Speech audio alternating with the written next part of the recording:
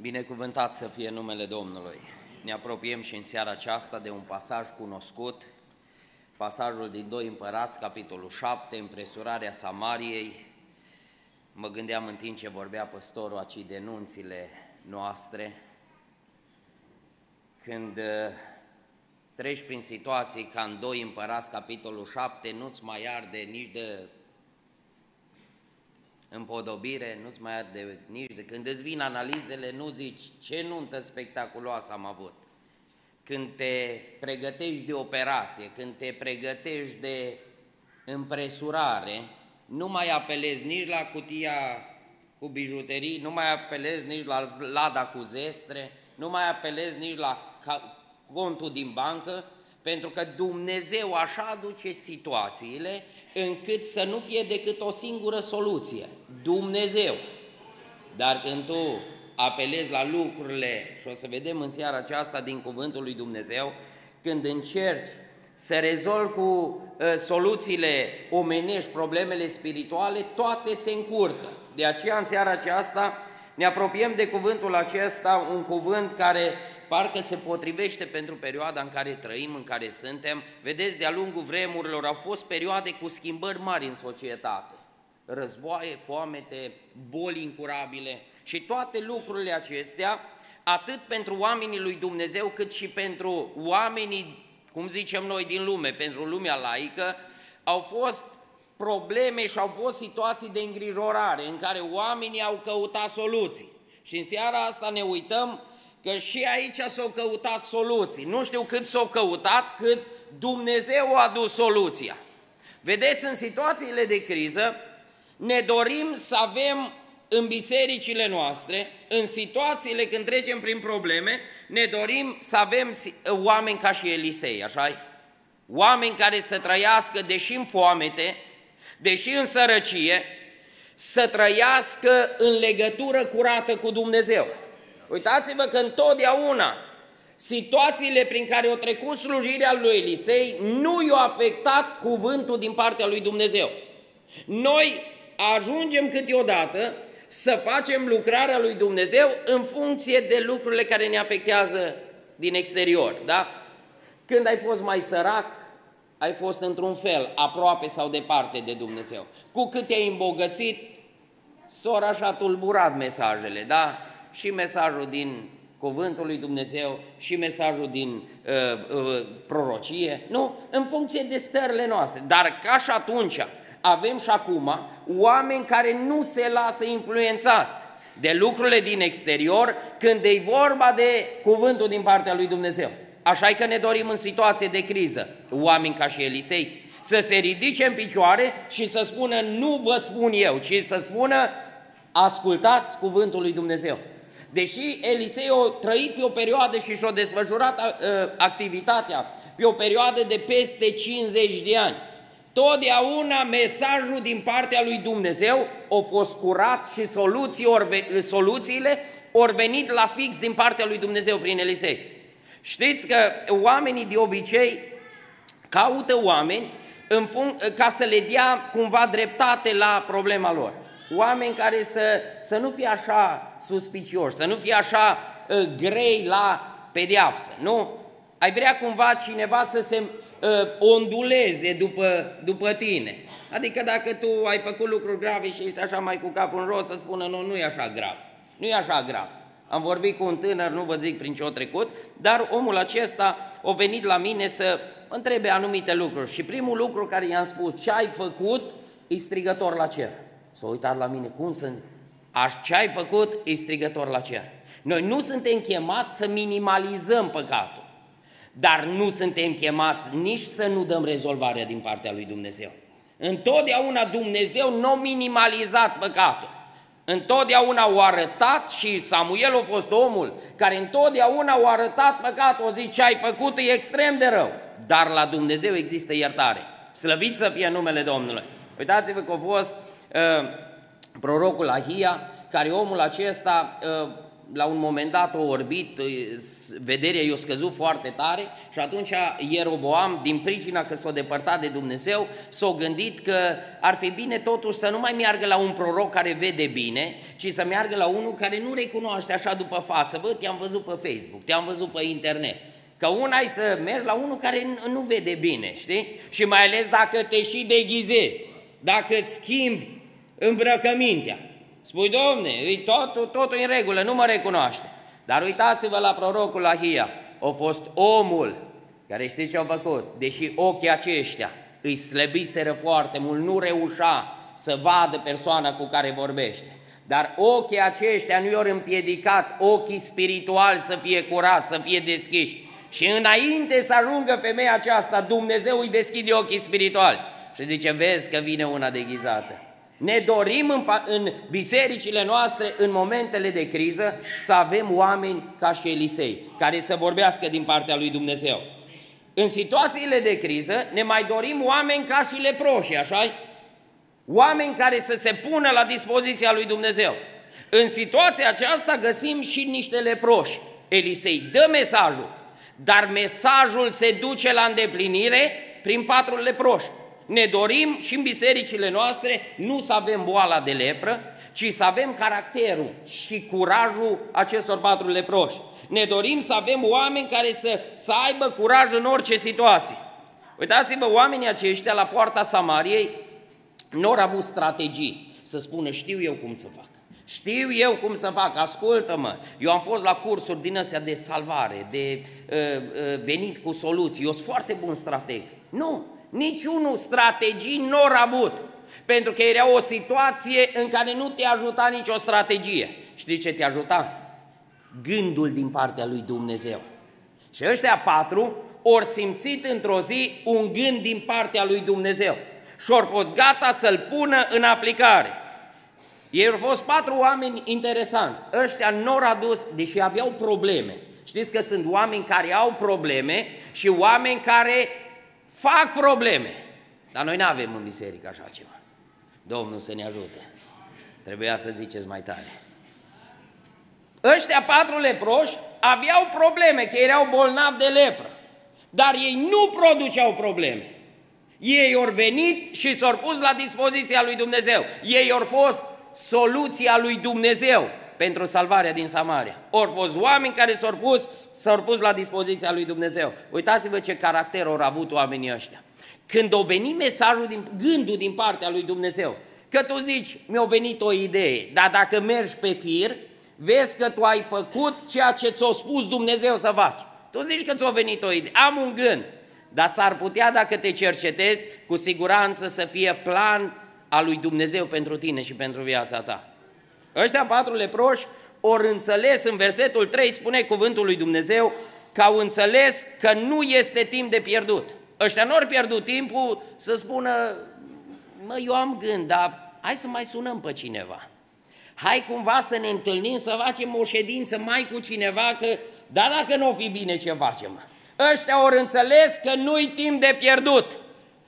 Aș vrea ca Domnul să binecuvinteze biserica noastră cu oameni care nu pierd timpul. Nici pe telefon, nici le fuge mintea în altă parte. E o perioadă în care nu se merită să pierdem timpul. Auziți ce spune versetul 3? La intrarea porții erau patru leproși care au zis unul către altul. La ce să ședem? Aici. La ce să ședem aici? Adică arată, bă, am stat destul. Nu vezi că nu se întâmplă nimic? Uitați-vă ce, ce interesant. Dar numai atunci punem în aplicare planul, când nu mai vine nimic de păstă gard. Când mai curge câte o coajă, când mai vine câte o coajă de cartofi, când mai curge câte o coajă de ceapă, o mai agați, o mai prins și te bucuri de ea. Dar Dumnezeu a dus momentul că aici ne trezește Dumnezeu. Când vezi că nu se mai aruncă nimic de păstă gard, când vezi că nu mai vine nimic din nicio parte, doctorul îți spune, nu se poate face nimic, ă, ă, pensia scade, parcă nimeni nu te mai ajută. Și ăștia au zis, nu mai e vreme de stat aici, nu mai e vreme de stat în situația aceasta. Noi știți cum am ajuns? Să ne mulțumim cum sunt, să ne mulțumim că stăm, să ne mulțumim bine că suntem la adunare. Eu știți ce zic? Bine că suntem la adunare, dar haideți să nu pierdem timpul. Haideți să nu pierdem vremea. Dacă e vremea de cântat, cântă laudele lui Dumnezeu. Dacă e timp de rugăciune, Dumnezeu a adus un timp elnic să ne rugăm înaintea lui Dumnezeu. Ei ori zic, nu se mai aruncă nimic. Nu se mai arunca nimic. După ce că erau bolnavi, aveau probleme și de, și de foame. Oamenii aceștia își asumă riscuri majore.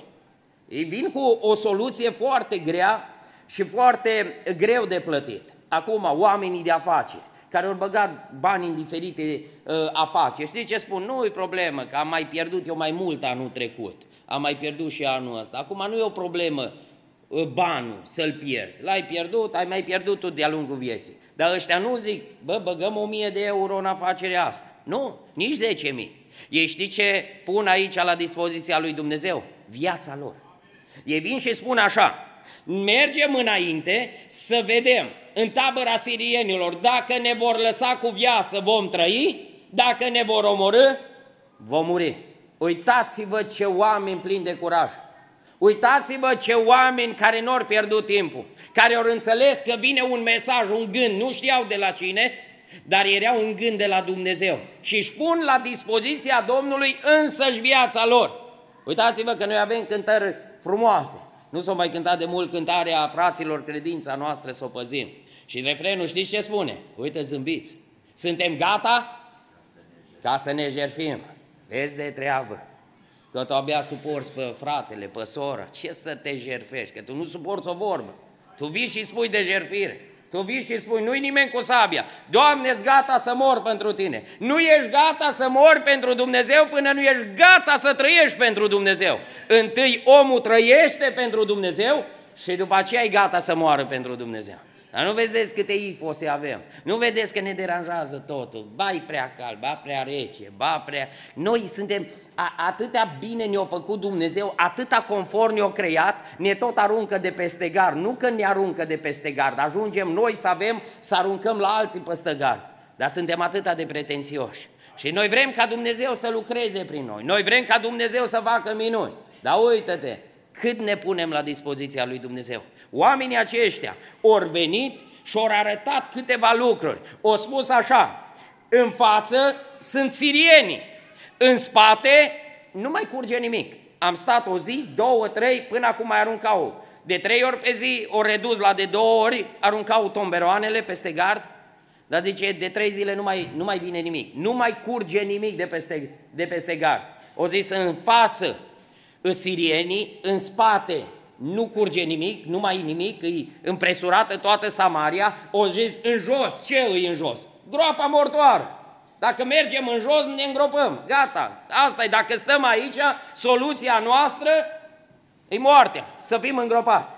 Dar mai avea o soluție, știți care a fost? Sus. S-a uitat în spate, s-a uitat în față, s-a uitat în jos și s-a uitat și în sus și s-au pus la dispoziția lui Dumnezeu, că din partea lui Dumnezeu, de sus, din cer, a venit un plan de salvare pentru viața lor. Și nu numai pentru viața lor, au venit și pentru cei din jurul lor. Binecuvântat să fie numele Domnului. E un cuvânt aici, în versetul 5, un cuvânt extraordinar. Domnul nu pune la voia întâmplării cuvintele în cuvântul lui. Nu la voia întâmplării niciun cuvânt. Auziți ce spune versetul 5? Au plecat dar în Amurg au plecat dar în amurg. Știți ce înseamnă amurgul? Când lucrurile nu le mai vezi clar. Cei care conducem unii mai în vârstă, știți ce spun? Cel mai greu mi să conduc când? Când se îngână ziua cu, cu noaptea, în amurg, sau dimineața la ora 5, când din nou se îngână ziua cu noaptea. Cel mai greu și cea mai grea stare e în amurg, că nu mai înțelegi nimic. Nu mai înțelegi nimic, boala e pe tine, nu mai e nici de mâncare, suferința parcă e tot mai mare, parcă toate lucrurile sunt amurg. Știți că toți avem, sau am avut unii din noi, situații în care n-am înțeles de ce trecem prin situațiile respective? Și pentru ei, ori plecat, zice, în amur, că nu se înțelegea bine ce îs. Sirieni, îs uh, copaci, îs cai, nu se vedea bine nimic în față. Umblarea cu Dumnezeu se face prin credință. Umblarea cu Dumnezeu se face prin credință. Noi, nouă ni se pare că totul e în amurg, că totul nu se poate desluși. Dar dacă viața ta se zbate în perioada aceasta, în lucruri care nu le poți înțelege, îți spun din partea lui Dumnezeu, liniștește-te că Dumnezeu lucrează. Fă liniște în viața ta că Dumnezeu are ceva de vorbit. Fă liniște în sufletul tău că Dumnezeu îți va spune ce să faci. Le-a dat Dumnezeu soluția în versetul 4. Spune așa, haidem să ne aruncăm în tabăra sirienilor. O zis, trebuie să schimbăm starea în care ne aflăm. Dacă totul e sumbru în viața ta, dacă totul e încălcit, dacă totul e dat peste cap, Dumnezeu te cheamă să te ridici din starea în care te afli. Ei nu ori zis, Domne, să vină să ne aducă, să vină să ne, uh, nu știu, să ne pună masa aici. Noi nu mai facem nimic. Nu. Ei ori știut că trebuie să facă ceva. Nu aștepta Dumnezeu să facă ceea ce trebuie să faci tu. Nu i-a ridicat Dumnezeu, ei s-au ridicat și au zis, haidem să mergem. O fost bine că mers. Cât s-au ridicat greu și s-au întors la Dumnezeu. Mult s-au ridicat greu. Dar știi ce spun acum? Mă bucur că Dumnezeu mi-a dat puterea să mă ridic. Mă bucur, spun unii, mă bucur că Dumnezeu mi-a dat puterea să intru în apa botezului. Miercuri eram la candidații de botez la cateheză și acolo e un frate care va intra în apa botezului, soția lui pocăită, nu știu dacă e aici în seara asta, fratele, dar l-am întrebat cum de s-a întors, cum de o luat hotărârea să se întoarcă la Dumnezeu. Și a spus, acum peste 30 de ani, din nou eram cu ainele pregătite. Eram pregătite să vin aici, să intru în apa botezului. Și zice, am amânat în săptămâna botezului, ceva nu mi-a dat putere, nu m-a lăsat să mă ridic din starea în care mă aflam. Dar zice, acum după 30 și ceva de ani, în care nevastă mea a venit la casa lui Dumnezeu să o ruga pentru mine. Acum ați hotărât să mă ridic din starea în care mă aflu. Îți hotărât să intru în apa botezului. Dacă vrei să se schimbe starea ta, chiar dacă totul e amurg, chiar dacă totul e semi-întuneric, ridică-te și pornește în planul lui Dumnezeu. Ridică-te și pornește în voia lui Dumnezeu, pentru că Dumnezeu nu te lasă la voia întâmplării. Binecuvântat să fie numele Domnului. Știți ce au mai făcut leproșii la aceștia? Au fost oameni care au înțeles că Dumnezeu nu greșește. Știți că Dumnezeu nu greșește niciodată? Mai spun lucrul acesta câteodată la înmormântări. Și dar spun și în seara asta, Dumnezeu nu greșește niciodată. Uitați dovada în versetul 8. Spune cuvântul Domnului, leproșii ajungând la intrarea taberei, au pătruns în cort, au mâncat și au băut, au fost binecuvântați. Pentru că atunci când începi umblarea cu Dumnezeu, când ai curs credinței în inima ta, în mintea ta, știi ce se întâmplă? Dumnezeu declanșează binecuvântarea. Dumnezeu ce promite duce la îndeplinire. Lăudat să fie numele Domnului. Ori înțeles că Dumnezeu nu greșește în planul Lui. Din nou revin la cateheză, e o tânără care vine din biserica greco-catolică. Ă, în cadrul medical lucră în, în sistemul sanitar, o tânără, o adus-o cineva, o colegă de ei, de aceea, de la, de la biserică. Nu are pe nimeni pocăit în neamul Nim, pe nimeni pocăit. Și am zis, și ce zic? Zice, nu știu cei mai mulți din ei, dar nici nu mă interesează. Zice, Dumnezeu mi-a vorbit și eu vreau să intru în planul de binecuvântare. Eu vreau să intru în planul de binecuvântare și să fiu binecuvântată. Și atunci i-am spus, să știi ceva, că prin tine, pentru că te-ai pus prima la dispoziția lui Dumnezeu, Dumnezeu va intra cu mântuire în neamul tău. Vei vedea peste ani de zile și vei număra, ăsta s-a pocăit după ce m-am pocăit eu, ăsta, ăsta, zeci de persoane, printr-unul singur, ăla care se pune la dispoziția lui Dumnezeu, care dă curs credinței, care se încrede în Dumnezeu și pornește pe drumul acesta. Slăvit să fie numele Domnului. În tabără întotdeauna vin veștile bune. Când pornești și intri în tabără, întotdeauna vin veștile bune. Auziți ce spune versetul 9. Apoi și-au zis unul altuia, nu facem bine, ziua aceasta este o zi de veste bună. Dacă vom tăcea și dacă vom aștepta până la lumina zilei, știți ce ori înțeles ei? Că amurgul nu numai pentru ei, și alții stau în amurg și ar trebui ajutați. Și altul în amurg, după ce ai Vorba românului, după ce ai băgat la ghiozdan, greu mai crezi pe altul că e flămând. Dar după ce ori mânca bine, știi ce-o zis? Ziua de veste bună nu-i numai pentru mine. Ziua de veste bună și pentru casa împăratului. Să știți ceva, aceeași veste face bine și la cei înălțați în dregătorii și la noi ăștia cei de rând, da? Pentru că Dumnezeu aceeași aceeași soluție are și pentru împărați, același, același raport de mântuire. El nu are un raport uh, de mântuire diferit față de ăștia din joasa societate sau din mediu, da? Ci Dumnezeu același tratament care îl oferă și aceeași soluție care o oferă la leproși, aceeași soluție o are și pentru împărat. Nu se schimbă cu nimic. Ascultarea atrage binecuvântarea. O ascultat împăratul și o beneficiat și el de binecuvântările de care au beneficiat leproșii. Așa e că în vremea când trecem prin necazuri, ne dorim cu toată inima să avem în bisericile noastre, să avem oameni exact ca și, ca și Elisei, să avem oameni ca și leproșii aceștia, așa e că asta ne dorim. Oameni care să aducă soluții, nu probleme, că le avem afară, nu mai vrem probleme și înăuntru.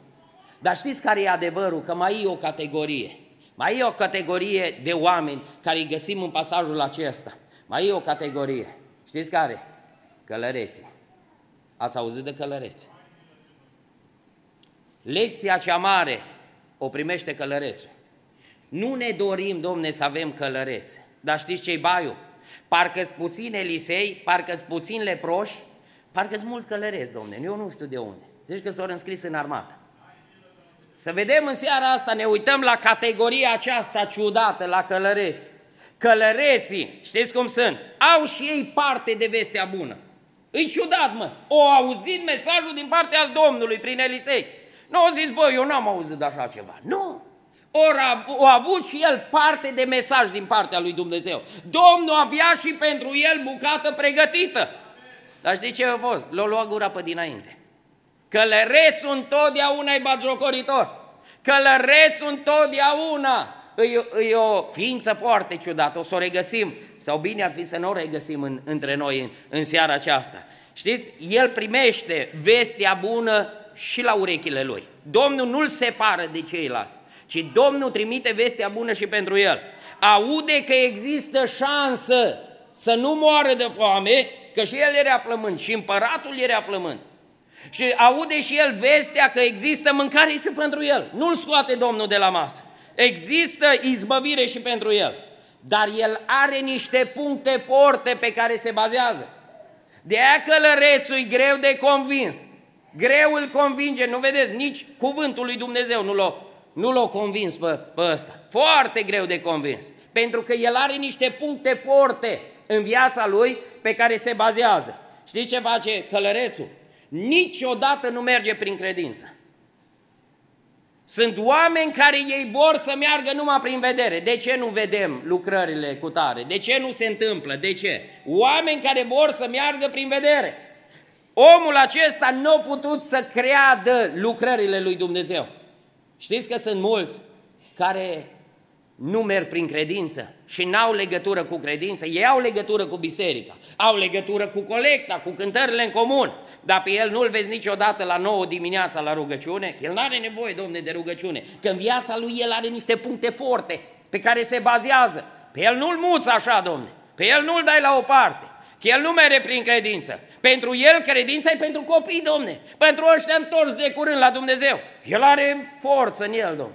El are puncte forte în el. Niciodată nu o să-l vezi pe călăreț marțeara la rugăciune. Că el nu are vreme. Călărețul nu are treabă cu credința, nu are treabă cu ceea ce vorbește Dumnezeu. Totdeauna va da din mână. Da, o mai zis așa ceva, eu auzit, am mai auzit de doi ani. De doi ani tot asta ni se zice. De câte ori nu ne-a vorbit Dumnezeu, ia aduceți-vă aminte, de câte ori nu ne-a vorbit Dumnezeu, că se va declanșa un nou război. Și ce am zis? Da, de, de doi ani se aude. De un an de zile, tot aceeași prorocie. Uitați-vă călăreți, dar nu vă pun să ridicați mâna. Oare cât sunt între noi? Care dau din mână și zici, ce să se întâmple, domn? Când avem scut antirachetă, când uh, avem armată specializată, care avem armată de profesioniști, ce să se întâmple? Uitați-vă, călărețul nu merge prin credință. Călărețul întotdeauna se vede de neînlocuit. El se vedea de neînlocuit. Știți ce spune Biblia de el? Versetul 2. Călărețul pe brațul căruia se rezema împăratul. Păi cine îl mută, mă, pe ăsta, mă? Când el e cod la cod cu împăratul, când îl întreabă, vă simțiți bine? Cum, uh, să țin mâna mai jos? Mai sus, e ok? E caldă mâna. Vă place? E ok. Se vedea de neînlocuit. Se vedea într-o poziție de neînlocuit. Știți că mulți călăreți vin să-i dea păstănați la Elisei? Exact ce au făcut ăsta. O venit și odată, du-te, domne, cu prorociile tale. Păi noi suntem în înalta societate. Noi avem forță politică, noi avem, noi avem și noi ne bazăm pe mâna împăratului. Împăratul se baza pe mâna lui, dar Dumnezeu nu se baza pe mâna lui. Știți pe cine se baza Dumnezeu? Pe patru leproși, domne. Pe patru leproși se baza Dumnezeu că ăștia merg și, și aduc problema la rezolvare. Împăratul se baza pe mâna lui, dar Dumnezeu nu se baza pe mâna lui, ci se baza pe patru amărâți. V-ați gândit vreodată, de ce Dumnezeu a luat patru amărâți și s-a folosit de ei? Săptămâna trecută, marți, la rugăciune, da, s-a început 1 Corinteni. La capitolul 1, s-a citit capitolul acesta, versetul 27, știți ce spune? Că Dumnezeu alege diferit de cum alege împăratul de jos, de cum alegem noi, dar Dumnezeu a ales lucrurile nebune ale lumii ca să facă de rușine pe cele înțelepte. Dumnezeu a ales lucrurile slabe ale lumii, auzi, alege Dumnezeu patru leproși ca să facă de rușine pe cine? Pe un călăreț, pe unul care se crede tare, pe unul care se crede de neînlocuit. Știți că numai două capitole mai în spate, a fost tot un călăreț din ăsta, un general de armată, Naman Sirianu. Domne, tot cu același caracter, tot cu aceeași funcție. Și pe mâna lui se rezema împăratul. Aceeași boală ca și... Dar ăsta avea ceva pe deasupra, avea boala leproșilor, avea lepră. Ă, cu mulți au avut de lucru Elisei. Cu mulți ă, călărezi din ăștia. Că zici, domne, nu sunt mulți. Dar uite că Elisei a avut parte de doi. Oare câți ori fi în patru mii? Nu știu, că n-am fost bun la matematică, nu? Dar știți când se vede? Când vine testul, când vine împresurarea Samariei, acolo dă drumul călărețul la gură. Până atunci nu-l cunoști îi și el cu tine, nu zice nimic, absolut nimic. Când vine testul, acolo se vede în cine se încrede. Acolo și arată relațiile lui. Naman Sirianu a fost și el cu aceeași funcție. Dar știți ce a făcut diferența între Naman Sirianu, care era tot călăreț de sprijin și bolnav de lepră, și călărețul ăsta din 2 Împărați, capitolul 7. Știți ce a făcut diferența? Naman Sirianu a înțeles că de Dumnezeu nu-ți bați joc că de Dumnezeu trebuie să asculți. Trebuie să recunoști până la urmă autoritatea lui Dumnezeu. Naman Sirianu o venit îngânfat, așa scălăreții, da? Domnule, el niciodată nu pleacă capul, totdeauna încheiat, impecabil, zici că e scos din, de la muzeul de ceară, așa, impecabil tot. Nu? Așa scălăreți. Dar știți ce a avut bun în el? Nu a fost batjocoritor. Naman Sirianu nu a fost batjocoritor a fost omul care îi venea greu să creadă că nu se pleacă ăsta în fața lui, dar nu bat jocorit. Nu bat jocorit. Ăsta vine, vine cu jocura. Știți, ar fi frumos să spunem că sunt rari călăreții, dar parcă tare mi teamă că printre noi sau printre alții sunt mulți călăreți. Sunt mulți călăreți care cât e Samaria deschisă și plină și totul în regulă, când faci cum zice el, când totul se întâmplă cum zice el, totul în regulă. Când nu, o să vezi cu cine ai de-a face. Ai de-a face cu un om care se vede și se crede de neînlocuit. Ajunge călărețul ăsta să calce în picioare cuvântul lui Dumnezeu. Vine și spune cum s-ar putea întâmpla un asemenea lucru, chiar dacă ar face Dumnezeu ferestre în cer. Calcă în picioare cuvântul lui Dumnezeu și el ajunge la rândul lui să fie călcat în picioare. Talpa cu care calci cuvântul lui Dumnezeu ajunge să te calce pe tine. De, cu talpa o călcat cuvântul lui Dumnezeu și l-a dat la o parte. O ajuns de talpa oamenilor să fie călcat în picioare. Vedeți? Trăim într-o perioadă, în vremea aceasta, în care avem și călăresc printre noi. Nu știu, ori fi puțini, ori fi mulți. Dar îmi place extraordinar atitudinea lui Elisei, că nu încerca să-l convingă. Nu încerca să-l convingă pe călăreț care are dreptate. Pe călăreț nu-l poți convinge că ai dreptate. Cu călărețul trebuie să ai răbdare. O zis, avem răbdare până mâine. Astăzi tu ești tare. Astăzi tu ești în putere. Astăzi tu ai tot ce vrei la picioare. Dar Dumnezeu a zis să avem răbdare până mâine. Astăzi Elisei a lăsat capul în jos și a tăcut. Nu și-a pus mintea cu el. Călărețul te biruie la cuvinte. Călărețul te biruie la bagiocură. Pentru că vă spun ceva, călărețul nu prorocește. Și zice, dacă nu prorocez, eu frate, eu sunt mai așa, eu imediat, eu te pun la punct. El poate sare și la bătaie, că nu urcă la învon, nu? De parcă n-ai voie, dacă nu urci la învon, poți să sar la bătaie, nu? Călărețul își permite, își permite, Elisei nu își permite. Știi ce face Elisei? Are răbdare. Are răbdare. Știi ce spune? Să așteptăm? Să așteptăm până mâine. Este interesant că el scoate niște cuvinte pe gură și piere exact din pricina cuvintelor lui. Din pricina cuvintelor lui ajunge să fie, să fie doborât. Astăzi trăiești poate într-o perioadă în care ești lipit de mulți împărați și te crezi sus și te crezi cu bani în buzunar, te crezi cu relație puternică în societate. Ascultă-mă ceva, dacă împăratul pe care te bizuiești nu poartă numele de Isus Hristos, slăvit să-i fie numele Lui, îți spun ceva, mâine te vei prăbuși. Mâine vei fi călcat în picioare. Funcția care o deții astăzi și care e împăratul tău cu care ești cod la cod, mâine aceeași funcție te va doborâ. Uitați-vă ce spune cuvântul lui Dumnezeu. Că ăsta avea un loc special lângă împărat și împăratul punea mâna pe el să se urce în car, să se coboare, să se închine. Și ăsta era acord la cod cu împăratul. Știți cine i-a adus moartea? Tot împăratul. Ca a doua zi i-a schimbat locul de muncă. Eu zic, nu mai vii cu mine. Astăzi te las liber, te duci la poartă. Te duci și stai. Păi murea el dacă era acolo la, la cotul împăratului? Nu murea. Dar zice că i-a dat pază să nu mai păzească mâna împăratului, ci să păzească poarta cetății. I-a schimbat într-o singură zi. I-a dat delegație. I-a zis, ieși din palat și te duci la poartă. Împăratul care, pe care s-a bizuit, cu care a fost într-o relație foarte bună, ăsta i-a adus și moarte. Nu știu, poate împăratul tău e frumusețea, poate împăratul tău sunt bani, poate ai lucruri pe care te bizui extraordinar de tare. Ascultă-mă, îți spun ceva, într-o zi, tot ce ai agonisit le vei lăsa la poartă. Zice că ăsta a rămas la poartă, a fost lipit de împărat și ajunge să fie lipit de pământ. Asta face Dumnezeu. Când tu nu iei în serios mesajul din partea lui Dumnezeu, te face Dumnezeu una cu pământul, lipit de pământ. Te-ai bazat pe frumusețe, te-ai bazat pe bani, te-ai bazat pe, pe braț tare, pe relații. Într-o zi toate le lași la poartă. La poarta spitalului, la poarta cimitirului, tot rămân.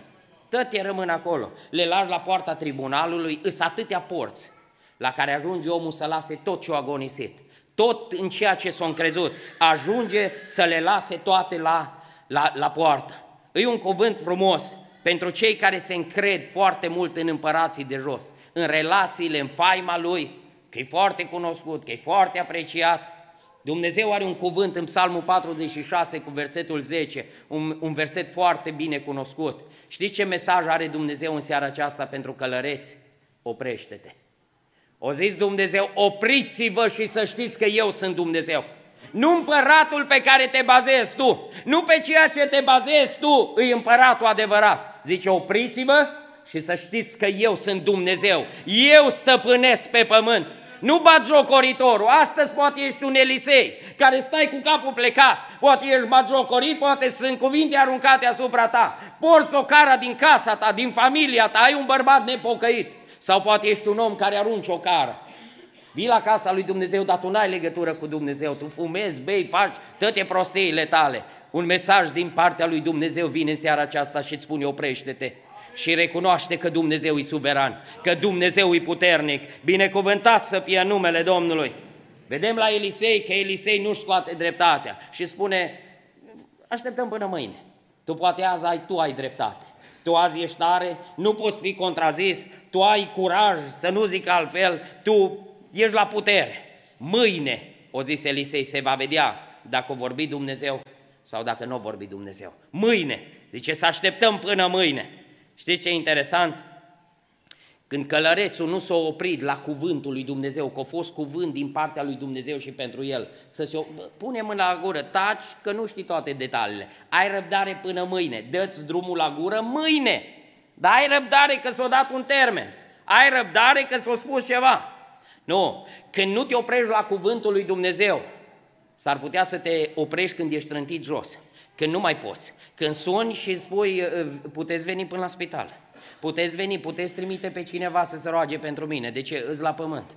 Simt că nu mai am mult de trăit. Dar adu-ți aminte de câte ori nu ți-o vorbit Dumnezeu. Adu-ți aminte de câte ori nu te-o chemat Dumnezeu cu glas și-o zis care pâine pentru tine, care viață pentru tine, care binecuvântare. Dar tot batjocoritor, că era împăratul în buzunar. Era împăratul pe tine, se sprijinea de tine, tu te sprijineai de împărat și n-ai luat seama la cuvântul lui Dumnezeu. Oare după cât se așteaptă Dumnezeu în vremea aceasta să vină să intre în apa botezului? Oare de cât ori nu s-a strigat pentru tine? Așa vorbește Domnul, întoarce-te la Dumnezeu, întoarce-te cu toată inima la Dumnezeu. Și ce ai zis? O să mă pocăiesc, dar nu acum, mai am vreme, mai am vreme. Ce le-a adus belșugul? Că vreau să mă apropii de încheiere. Ce le-a adus belșugul celor din Samaria?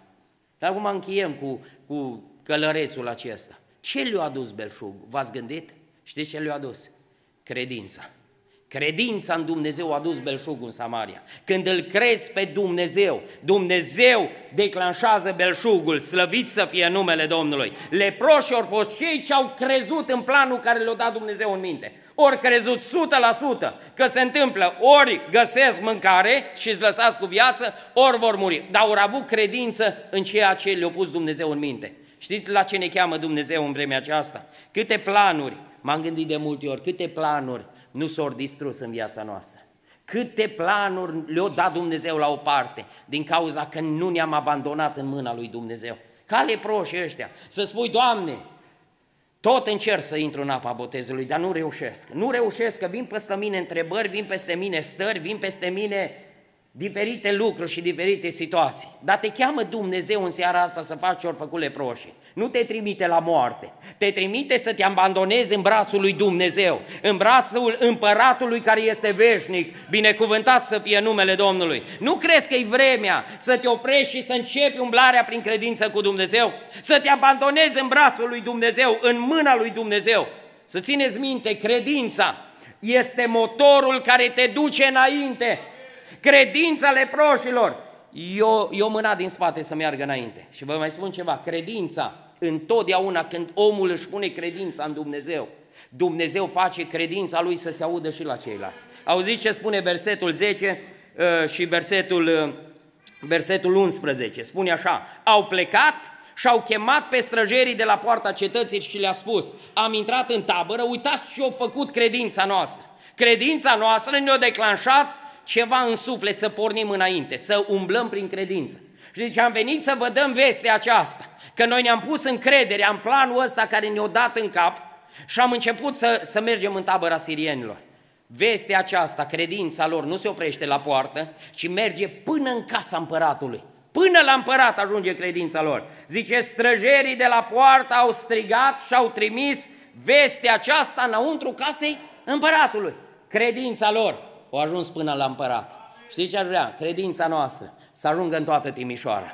Să se știe că aici e un popor care îl iubește pe Dumnezeu. Să se știe că aici se fac minunile lui Dumnezeu, dar nu din pricina noastră, pentru că nu noi facem minunile, ci minunile sunt proiectul lui Dumnezeu. Minunile sunt proiectul lui Dumnezeu. Dumnezeu a avut în, în, în inima lui proiectul acesta de a dea izbăvire în, în Samaria. Știți că orice proiectant după ce se face proiectul, mai are nevoie de ceva, ca să poți duce construcția la, la, la final. Știți de ce e nevoie? De proiectant și de diriginte de șantier. Știți ce face dirigintele de șantier? Supraveghează toată lucrarea să meargă la bun sfârșit. Toată lucrarea să se facă conform planului. Știți că Dumnezeu a fost și proiectant și diriginte de șantier? El o da proiectul în versetul 5, spune că o da proiectul. Zice, au plecat dar în Anmurg să se ducă în tabăra sirienilor. De ce? Că le-a dat Dumnezeu proiectul. Le-a spus Dumnezeu ce să facă. Dar zice că Dumnezeu nu i-a lăsat cu proiectul în mână, ci Dumnezeu s-a implicat să se ducă la îndeplinire proiectul. Zice versetul 6, Domnul făcuse să se audă. Domnul o da pe sirien la o parte. Domnul a făcut oficiu și de proiectant și de diriginte de șantier. Vă aduceți aminte ce o zis Domnului Ieremia în capitolul 1 când îl cheamă la, la slujire? Știți ce îi spune Domnului Ieremia? Îi spune, ce vezi Ieremia? Știți ce spune Ieremia? Văd un Aleluia, văd un vegheator, o zis Ieremia. Și o zis Domnul, bine ai văzut, De ce? Căci eu veghez. Eu veghez ca să se ducă cuvântul meu la îndeplinire. În seara asta îți spun ceva, dacă îți pui încrederea în Dumnezeu, dacă îți pui toată încrederea în Dumnezeu, Dumnezeu va veghea ca planul de binecuvântare, planul de mântuire să se ducă la îndeplinire. Binecuvântat să fie numele Domnului. Uitați-vă că Dumnezeu știe data. Zice, mâine se va vinde. Știe prețul. Și de unde să știe Dumnezeu cu cât se vinde mâine? Uite că Dumnezeu își arată puterea. Și arată că El se implică în cele mai mici detalii. Nu este problemă gravă ca Dumnezeu să nu o poată rezolva. Dar nu este nici problemă prea mică care să nu-L intereseze pe Dumnezeu. Dumnezeu e interesat de toate detaliile când încep să umbli cu El prin credință. Dumnezeu știe data, știe prețul și mai știe ceva, câtă cantitate intră, că prețul se face în funcție de consumul care îi acolo, de cerere și de ofertă. Și Dumnezeu știe, o să fie atâtea tone și faptul că e din belșug se va vinde la prețul acesta, da? Comercianții știți cum să, să fac prețurile, în funcție de cerere. Știa Dumnezeu lucrurile astea. Știa Dumnezeu lucrurile acestea. Frații mei, vreau să închei, dar vreau să vă spun ceva. Nici o problemă a ta, cât e de mică, nu-i trecută cu vederea înaintea lui Dumnezeu. E un cuvânt în Isaia, capitolul 40, de la versetul 26 la 31. E un cuvânt frumos, nu mai deschid, dar nu mă-l amintesc, care spune, pentru ce spui tu, Iacove? Pentru ce zici tu, Israele, că soarta mea și dreptul meu îi trecut cu vederea înaintea Dumnezeului meu? Pentru ce zici că ești un lepros și Dumnezeu pentru tine nu intervine? Că Dumnezeu pe tine nu te bagă în seamă. Știți ce, spune, uh, versete, ce spun versetele următoare? Că El dă putere celui obosit. El mărește puterea celui ce cade în leșin. Zice, tinerii obosesc, plăcăii ostenesc, dar cei ce se încred în Domnul și înăruiesc puterea, pentru că Dumnezeu veghează asupra lor. Dumnezeu este Cel ce trimite izbăvirea, binecuvântat să fie numele Domnului. Vreau să-ți spun ceva. Știi că într-o singură clipă toată viața ta poate fi schimbată pentru totdeauna? Ăștia au ajuns să fie niște leproși amărât la poarta Samariei, la un gard amărât acolo. Înăuntru foamete, totul era sumbru, totul era namurg. Dar pentru că și-au pus încrederea în Dumnezeu, Dumnezeu într-o singură clipă, într-o singură zi schimbă lepra în binecuvântare. Când totul e sumbru, când analizele gradul 4, și îți spune nu mai ai nicio șansă. Știi că la un singur cuvânt, când îți pui toată încrederea în Dumnezeu, Dumnezeu trimite izbăvire peste tine. Apropie-te de Dumnezeu în seara asta, abandonează-te în brațul lui Dumnezeu și Dumnezeu din ceruri va lucra în dreptul tău. Domnul să ne binecuvinteze pe toți, amin.